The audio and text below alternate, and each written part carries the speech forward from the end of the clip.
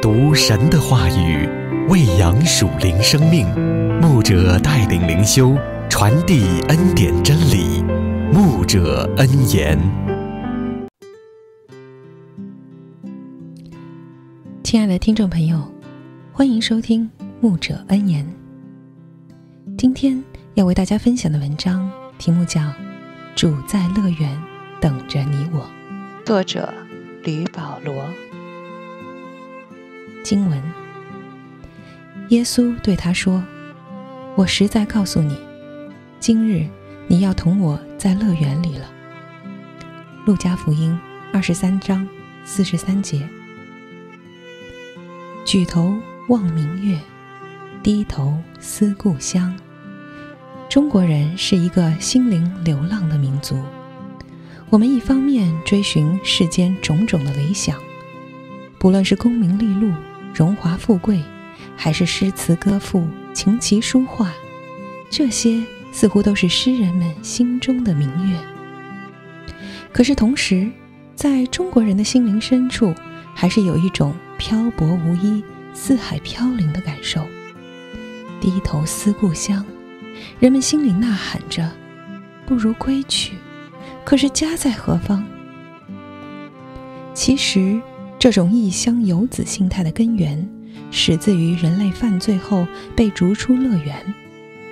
这种诅咒埋在所有人类灵魂深处，因此人总是想要回家，却在世上总是不得安息，总是找不到心灵的归宿。耶稣在十字架上的场景，是一幅喧嚣混乱的图画。耶路撒冷城的人几乎都出来了，要见证耶稣十字架的死刑。大多数人被公会的祭司长和长老们煽动，仿佛一群暴民似的，嘲笑、辱骂，并讥讽耶稣。同钉十字架的一个强盗。也附和着众人来讥诮耶稣。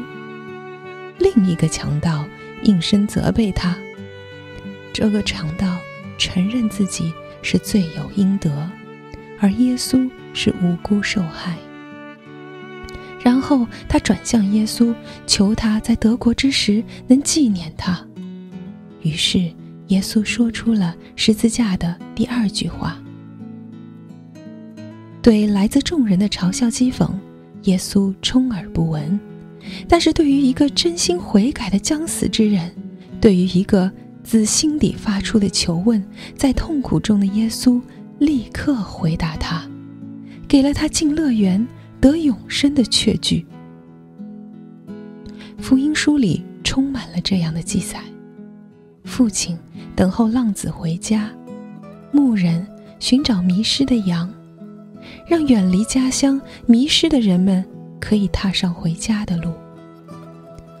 无论你我迷失、沉沦到怎样的地步，只要像这样悔改的强盗，向耶稣发出呼求，就必得到永生的确据，可以与主同进乐园。这乃是神大爱的彰显。让我们一同祷告。主啊，虽然圣经说你世世代代做我们的居所，然而犯罪的世人如羊走迷，个人偏行己路，如同浪子离开家，也远离了真正的平安喜乐。感谢你的十字架，感谢你对悔改强盗的应许，你对他的接纳，也让我们每个人只要相信，就有永生的确据。就能进入与你同在的乐园。愿你的爱临到所有的浪子与罪人。奉耶稣的圣名